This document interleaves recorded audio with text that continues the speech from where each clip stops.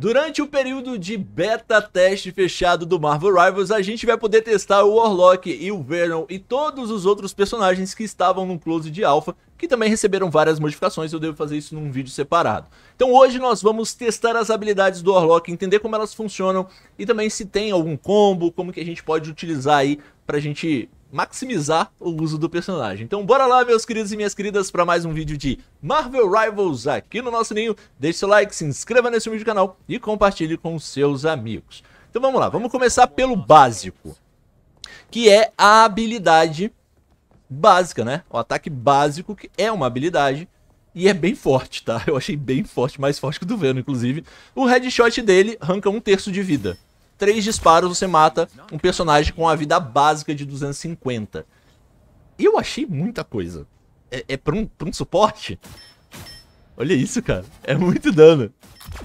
E ele atira muito rápido, ó. E além do disparo dele dar muito dano, né, como eu falei, ele é um hit scan que você pode só mirar em cima ali do cara e dar-lhe dano. Fora do headshot, aqui a gente tá num ambiente controlado, é mais fácil da gente dar headshot. O dano dele não é tão alto, mas ainda é forte, porque ele ataca muito rápido. Olha a velocidade que ele consegue tirar a vida de um personagem. Eu achei assim, eles colocaram uma característica nele de um suporte muito agressivo, mas também extremamente tático, estratégico. Porque ele tem algumas habilidades que protegem o time e também mudam, como eles mesmos falaram lá no, no trailer de lançamento do personagem, mudar o rumo completo da partida através dos seus, do seu mas res, do seu na sua imortalidade, porque ele volta. Mas claro que o retorno dele tem um tempo de recarga, senão ficaria extremamente quebrado. Então esse aí é o M1 dele. E aí depois nós temos o M2, que é uma concentração cósmica. Acumula energia quântica e lança rapidamente no inimigo. Parecido com o da Storm, você vai clicar com o botão direito e segurar. Ele carrega e aí você dispara. Não tem headshot, mas dá um dano absurdo. Então você pode basicamente fazer isso. Ó, o tempo todo. Inclusive, eu aconselho você a fazer isso quando você tiver com a munição acabando.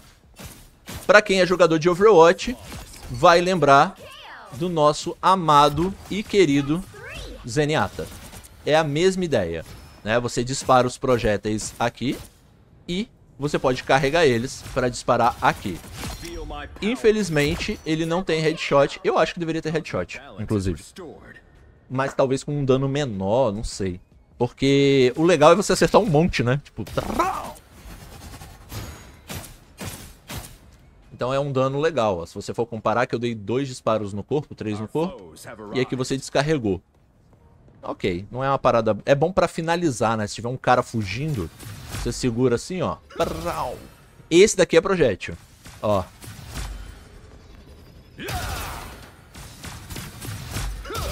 Tá vendo como ele espalha? A gente vê, ó. Por isso que eu achei que o primeiro era projétil também.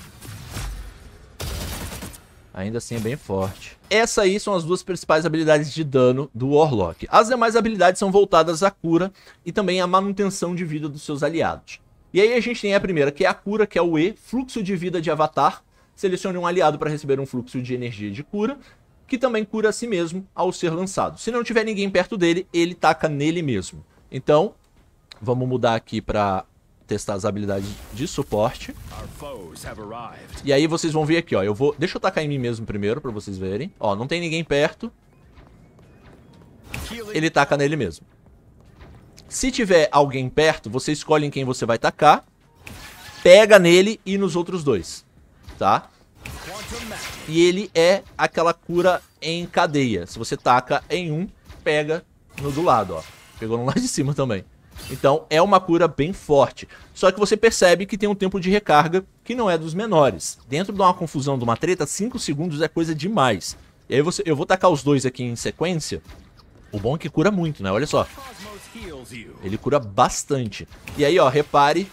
Ali, ó, 2 segundos. Eu vou tacar de novo, ó. 5 segundos. São 6 segundos no total, na real. Então é bastante coisa para uma habilidade de cura. Mas, pelo menos, ele cura bastante. Numa emergência, quando acaba a cura, você pode utilizar o Shift. O shift dele, basicamente, eu não vou nem abrir lá não, porque a explicação é muito grande. Mas é basicamente assim, ele vai colocar uma orbe de de poder quântico ali em cada um. Ó. E eles vão dividir o recebimento de dano, ó. Todo mundo recebe dano junto, ó. E aí esses daqui meio que vão curando, tá vendo, ó? E aí quando você aperta o E, você cura todo mundo. Então, repare que o tempo de recarga é extremamente alto, foram 28 segundos. Eu acho que eles vão acabar diminuindo talvez um pouco, porque você vai usar uma vez por batalha praticamente. Olha isso, olha o tempo que demora pra voltar. Tudo bem que a cura dele é realmente muito alta, e isso compensa. Então, se você souber usar no time certo, pode ser que vale a pena. E o shift dele eu achei bem bacana, tá? Pra uma batalha que tá intensa, se alguém for receber uma ult muito poderosa, o cara que tá fora da ult recebe um pouco do dano. Isso é muito maneiro. São 30 segundos de tempo de recarga, eu chegaram 28. E aí nós temos também a imortalidade dele, que é a passiva. Casulo de regeneração. Quando seu corpo perece, Adams pode se mover livremente como uma alma e reconstruir o seu corpo em um local de sua escolha. Só que você só tem 3 segundos para fazer isso. E aí você vai ver agora quando ele morrer, ó, ele vira uma alminha, e aí você tem 4 segundos para você se mover e utilizar o casulo. E aí você volta. O legal é que ele volta com a vida cheia. Eu achei isso bem interessante falar a real. E aí ele tem a habilidade ultimate dele. E aí quando eles morrem, você tem um tempo, tá vendo aqui, ó, pra apertar o Q. E eles são trazidos de volta à vida com pouca vida, porém, por um breve momento, eles possuem uma imortalidade. E dá tempo de você apertar o E e dá tempo de você apertar o Shift e o E novamente. Então você tem que trazer de volta, curar e já tacar o Shift. Ou tacar o Shift e já curar. Né? Tem que ser quase que ao mesmo tempo as duas. E aí você vai conseguir salvar quem já estava morto. Cara, isso é muito roubado. Se vocês receberem uma ultimate e o Adam tiver posicionado longe, você pode só se aproximar e trazer todo mundo de volta à vida e curar todo mundo, porque eles têm um breve período de invencibilidade que você pode se... Olha a quantidade de cura. Que você pode salvar todo mundo. Isso é bem, bem poderoso. Lembrando que você mesmo volta à vida caso morra, mas lembrando que a sua passiva de ressurreição tem 120 segundos, ou seja, 2 minutos para ela voltar né, e você poder utilizar novamente. E aí, por fim, nós temos ainda a habilidade colaborativa, que é o Team Up, né, que é o, é, é o combo entre dois ou três personagens quando eles estão no mesmo time.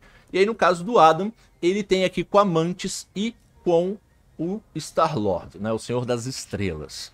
Vamos ativar aqui para a gente dar uma olhada.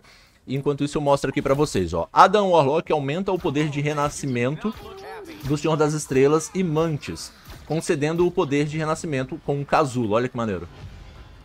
Eles voltam à vida porque o Warlock tá no time e eles são da mesma equipe. Olha que... Eu achei isso muito legal. Ó. Roubadíssimo. Roubadíssimo. Então o Warlock com Amantes é super interessante, mas precisa do Starlock para fazer sentido, né? E ter esse recall. Mas lembrando que você volta e você pode morrer de novo, né? Não é como se fosse garantido que você vai voltar e, e, o jogo vai virar. Mas, geralmente, quando você volta com a vida cheia, o cara já tá meio cagado, né? E aí você já volta finalizando ali. E lembrando que é como a passiva do Warlock. Você não vai ficar voltando assim toda hora igual eu tô mostrando pra vocês. São 120 segundos depois de uma ressurreição. Então você só pode ressurgir depois de dois minutos, tá? Então não é uma parada que você usa da forma que você quer, a hora que você quer. Mas é, ainda assim é uma parada muito poderosa. Eu pelo menos achei extremamente poderosa. E é um combo bem bacana pra gente poder fazer em game. Lembrando que vários personagens possuem, né, a habilidade colaborativa, que é o Team Up do Warlock. Não, não do Warlock, né, mas vários personagens têm combos entre si. E eu acho isso bem bacana e eles têm investido bastante nessa dinâmica. Na real, eu saí daqui, mas ó, dá pra gente ver até os outros aqui, ó. Tá vendo, ó? A Feiticeira Escarlate com Magneto. Esses daqui eram todos do anterior, né? Nesse daqui, a gente tem agora Doutor Estranho aqui com o Homem de Ferro e o Hulk. para fazer o combo agora da energia gama. Temos o Homem-Aranha com a Penny Parker junto do Venom. E os outros são tudo com dois players. O do Pantera mudou e tá bem roubado. Ele pode abrir um, um portal pro limbo a hora que ele quiser. Ficou bem roubado. Então essas habilidades aí de time também ficaram bem legais. E vamos ver como que ele tá em game agora, né? Vamos testar bastante o Venom e o Warlock pra gente ver se tá bem bacana e se tá equilibrado ou se tá meio roubadinho. E é isso, eu espero que vocês tenham gostado do vídeo, não esquece de comentar, deixar o seu like e compartilhar. Eu vou ficando por aqui, você fica por aí. Fica firme, fica God. Fui.